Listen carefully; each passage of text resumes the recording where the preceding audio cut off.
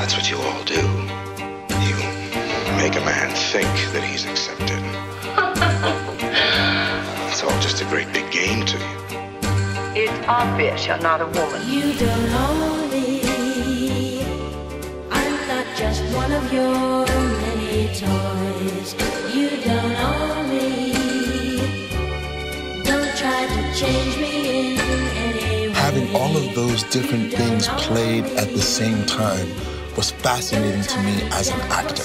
We must find that woman.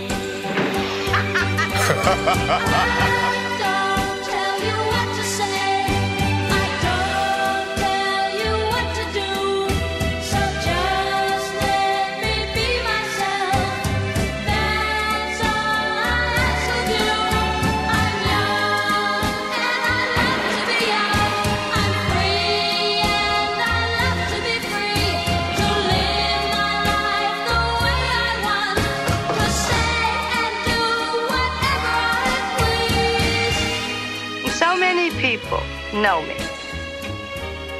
I wish I did. I wish someone would tell me about me. You're Margo. Just Margo.